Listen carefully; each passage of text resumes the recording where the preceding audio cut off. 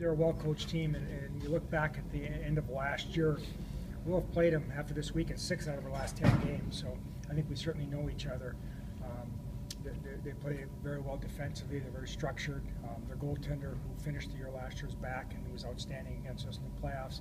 Uh, they only gave up five goals last weekend in St. Cloud. It's their home opener, and know they'll be excited to play. They've got a influx of, of new uh, players, and uh, I think they feel a little more talented than what they were a year ago. In our first challenge, it's our first road trip. So, how are some of the young guys? It's, easy to play at home when you're on crowd, and now how are you going to react the first time on the road? That's what I'm looking forward to seeing this weekend. When you look at uh, last weekend, all four lines scored goals. Both power plays scored a goal. Uh, Adam played very well in the net, so there was a lot of positives to our game last weekend. But you know, they don't crown any champions after the first week. We have a long ways to go. We have a lot more to prove as a team.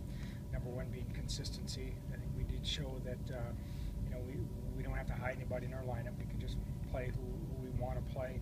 Um, I do think we have the ability to make some more plays a little bit deeper into our lineup.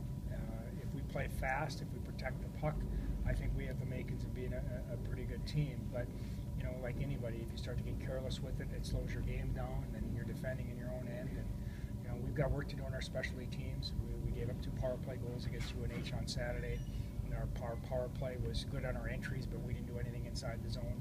You know, UNH is a good penalty kill team, so a lot to work on and a lot to improve on. It's hard to tell. Like we haven't really obviously played them yet, but they seem to play the same type of style. You know, chip and chase, run and gun. They're hard to play against. So you know, we need to go out, be ready to play against them. We know their style already, so um, just stick to Gopher hockey and uh, get after it. It's really exciting. Um, it's good to you know be able to see my family. My family flies up there. Obviously, my dad doesn't, but um, other members of my family, and then uh, my grandpa gets to come down and stuff. So it's a good family atmosphere up there. It's hard to get everyone down here, so um, it'll be good to see everyone play my last weekend or so against the Beavers.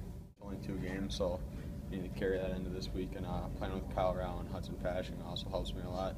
Fasching's a big guy who can play down low, but he also has skills. Uh, as a skilled forward. He's fast. He's he's big. Uh, and Rau Rau does all the dirty work. Plus he has a skill, so it's definitely fun playing with him. That's just what Wilcox does. He's uh he's always making those big time saves. So he bailed us out there. Uh, and uh, yeah, I think as a team, uh, just getting two wins on the weekend's uh, pretty big. So and hopefully we carry that into this weekend versus Bemidji.